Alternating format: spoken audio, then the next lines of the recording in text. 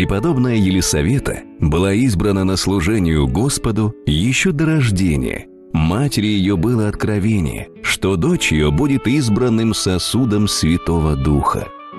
Родители отдали Елисавету в монастырь еще в детстве.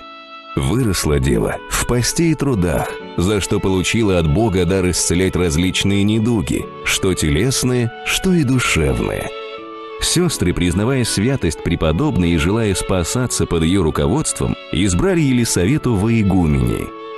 И правда, воздержание святой было безмерно. Носила она одежду только из острой власеницы. Тело ее мерзло, но дух горел пламенем божественной благодати.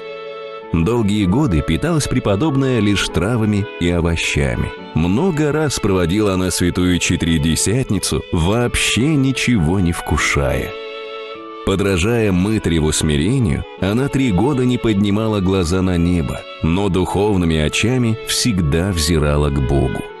В полуночных молитвах преподобную просвещал небесный свет. Много чудес сотворила преподобная. Лютого змея умертвила молитвой.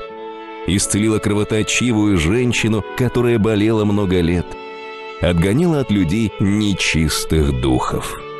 По смерти гроб преподобной Елисаветы также подавал исцеление от болезней. Даже сам прах, взятый от ее мощей, даровал слепым прозрение.